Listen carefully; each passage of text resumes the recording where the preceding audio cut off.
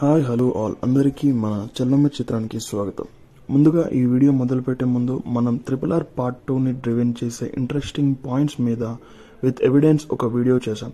ఆ వీడియోని ముందు వాచ్ చేయండి. Link in description please go and watch triple R movie అంత పెద్ద హిట్ అవడానికి మెయిన్ రీజన్ ఏదైనా ఉంది అంటే అది జక్కన్న మాత్రమే.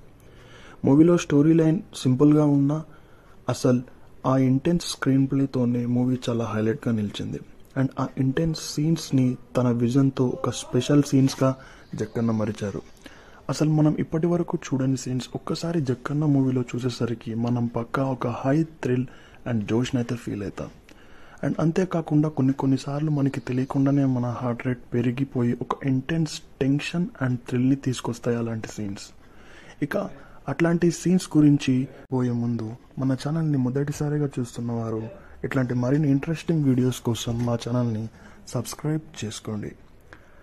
అండ్ నాకు నచ్చిన జక్కన్న మూవీ స్పెషల్ సీన్స్ అంటే ఫస్ట్ మగధిరాలో ఆ వంద మందిని చంపే సీన్ అయితే ఎక్స్ట్రాడినరీగా ఉంటుంది.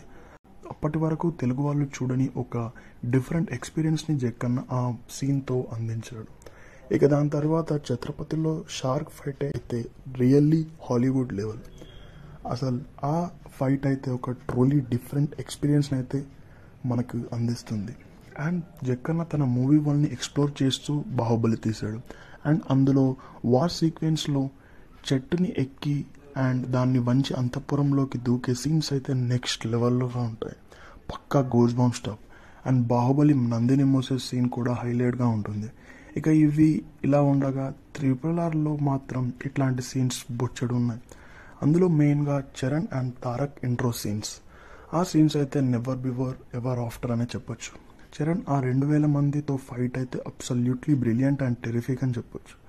అండ్ ఆ సీన్ ఎంత న్యాచురల్గా తీశారంటే నాజమౌలి గారు ఇట్ వాస్ క్వైట్ రీజనబుల్ అనే అనిపిస్తుంది.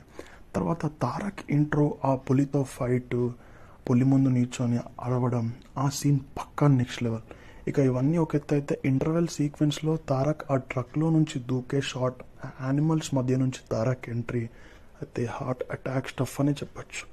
లిటరల్లీ నేను సినిమా చూసేటప్పుడు మా ఫ్రెండ్కి ఆ షాట్ చూస్తున్నప్పుడు తనకి తెలియకుండానే తన బీపీ వన్ ఫార్టీకి దొరికిపోయింది. అండ్ మా ఫ్రెండ్ పెట్టుకున్న ఐ వాచ్ అయితే మోగుతూనే ఉంది అసలు ఆగడమే లేదు. లిటరల్లీ అవర్ షాక్ ఒక్క సీన్ ఇంత ఇంపాక్ట్ ఇస్తుందా అని త్రిపుల్ ఆర్ మూవీతోనే అది సాధ్యమైంది. And triple R movie is not an ordinary movie it's Pakka and celebration అని చెప్పొచ్చు. అండ్ చరణ్ రాజమరాజు గెటప్లో ఇంట్రో షాట్ ఆ లైట్ వచ్చి చరణ్ మీద పడడం దీని తల్లి నెక్స్ట్ లెవెల్ షాట్ అప్పుడు ఆ షాట్ వచ్చినప్పుడు థియేటర్లో అరిచి అరిచి గొంతు పోయింది అనుకోండి. ఇక నాటు నాటు పాటకి అయితే సీట్లో ఎవ్వరు కూర్చోలేరు.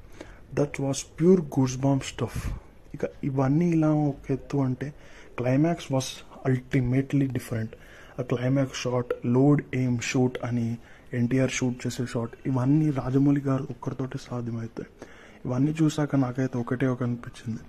అట్లా ఉంటుంది మన రాజమౌళితో అని.